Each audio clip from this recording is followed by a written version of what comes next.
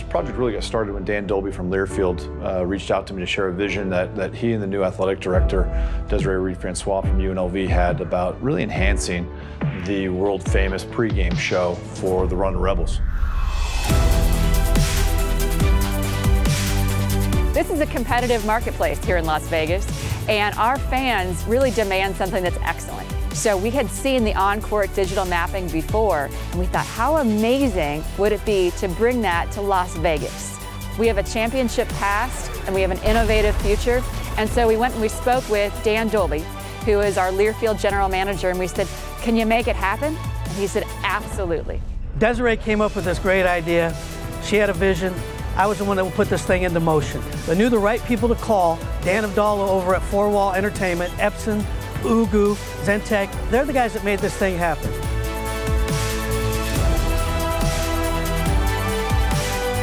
We're here at our Las Vegas location where we just received eight brand new Epson large format laser projectors. We're doing some programming before we head over to Thomas and Mack where we'll be handing these over to the creative team at oogoog. They're going to be setting them up there and hanging them for some projection mapping on the on the court.